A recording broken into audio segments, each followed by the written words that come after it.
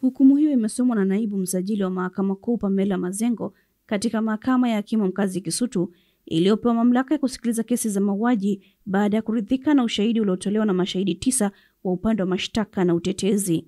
Akisoma hukumu hiyo, hakimu Mazengo amesema upande wa mashtaka umeweza kuthibitisha pasipo kuacha shaka kuwa kifo cha Naomi kimetokana na kipigo na majeraha ya bibi yake, hivyo ametiwa hatiani kwa kosa la kumuua kwa kukusudia Naomi John.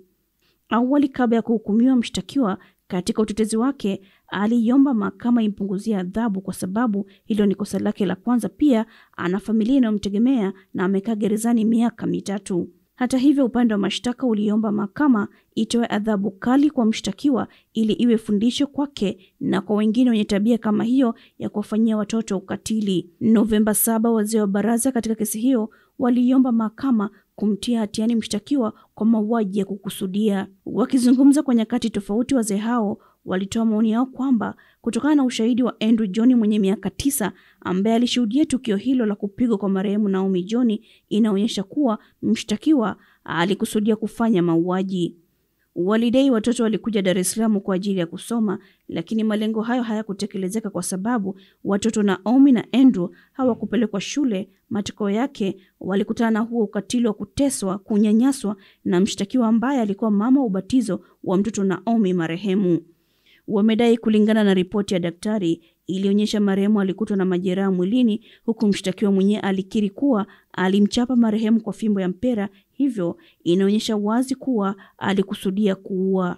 Mmoja ya ushahidi wa upande wa mashtaka ulidai kuwa mshtakiwa alimpiga marehemu kumng'ata mwilini na kisha kumwagia maji ya moto ya chai, ambapo inadaiwa ilikuwa tabia yake ya kuwafanyia ukatili watoto hao Andrew na marehemu Naomi. Katika utetezi wake, mshtakiwa huyo ameiomba mahakama imwonee huruma na kumwachia huru, huku akidai kuwa alikuwa akimchapa marehemu kwa kumkanya na kwamba vidonda na makovu aliyokutwa nayo mwilini alitoka nayo kijijini kwao mkoani Kilimanjaro, sababu alikuwa anachunga mbuzi. Akieleza jinsi namna marehemu Naomi na Andrew Johni wanavyomuhusu, amedai kuwa ni watoto wa dada yake na aliwachukua kuishi nao baada ya kuombwa wasomeshe kwa kuwa dada yake hakuwa na uwezo, ambapo aliishi nao nyumbani kwake Tuangoma, Kigamboni kwa takribani miezi kumi.